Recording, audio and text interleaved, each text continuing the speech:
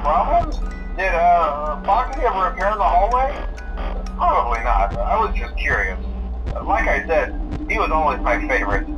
They tried to remake Foxy, you know? Uh, they thought the first one was too scary, so they redesigned him to be more kid-friendly and put him in Kids Cove uh, to keep the toddlers entertained, you know. But kids these days just can't keep their hands to themselves. The staff literally had to put Foxy back together at the end of every shift. Eventually they just stopped trying and left him as some kind of take apart, put back together attraction. Now he's just a mess of parts. I think the employees refer to him as just the mangle. Uh, oh hey, before I go, uh, I wanted to ease your mind about any rumors you might have heard lately. Uh, you know how these local stories come and go and seldom mean anything. I can personally assure you that whatever is going on out there, however tragic it may be, has nothing to do with our establishment. Just all rumor and speculation, people trying to make a buck, you know.